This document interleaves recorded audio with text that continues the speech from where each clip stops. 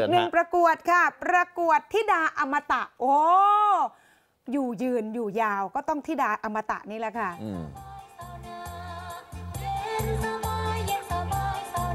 โอ้โหโอ้โหดูโอ้โหแต่ละท่านต้องโชว์ลีลาด้วยนะคะว่าอ๋อความท่านสามารถดีพิเศษอะไรอ่าคำว่าธิดามาตาก็คือ ก็ใครที่อายุยืนตั้งแต่โอ้หกสิบโอ้โอ้โอ้นี่ท่าหนีบนะเนี่ยโอ้ไม่ธรรมดานะข่วยังดี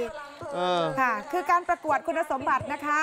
เพศเป็นเพศหญิง อืม2 อายุ 60 ปีขึ้นไป ครับ 3 ร่างกายสุขภาพแข็งแรงนะคะแล้วก็ต้องโชว์ลีลาความสามารถพิเศษด้วยนะคะ ปรากฏว่าคุณยายคำแปลง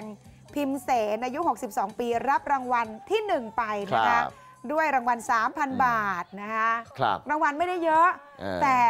อยากจะให้คนรู้ว่า เออ อายุยืนเนี่ยต้องทำยังไงครับนะคะ คุณยาย